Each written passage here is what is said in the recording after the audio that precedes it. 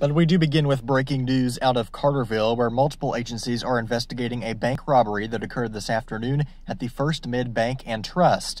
Police were on scene this afternoon speaking to witnesses and gathering information on the investigation.